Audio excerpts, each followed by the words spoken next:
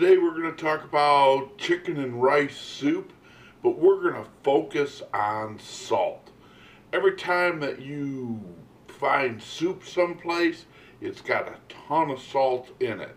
So what we're going to do is we're going to make our soup with almost no salt in it. And what I have here is I have some rice that I cooked uh, last night for dinner. A um, couple pieces of frozen chicken, some chopped scallions, little bit of Grey Poupon mustard we're going to throw in there, some chives as far as spices, and water. Uh, the only thing that really contains any salt here is the Grey Poupon. And we're only going to put a little bit in there.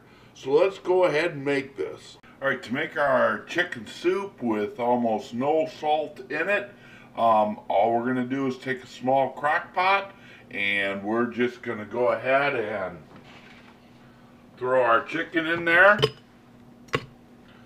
throw our water in there,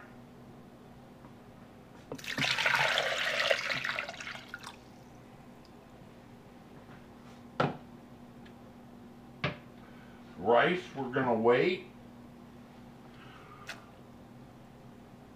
Throw our scallions in there. And just a touch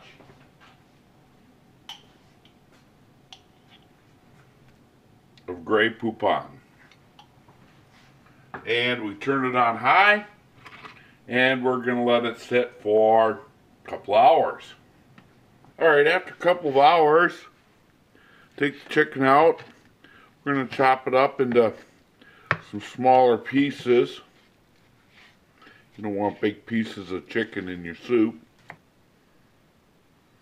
Alright, and after you get it all chopped up, make sure your four-legged friends get just a little taste. There you go, Ruby. You're a good girl, Ruby, huh? We're going to throw the chicken back into the crock pot along with the rice and let it go about another 20 minutes and we will have soup. Alright, now remember, this soup has very little salt in it, which means it's not going to be as flavorful as other soups. So we need to give it just a little kick and what I used is some uh, crushed chili peppers.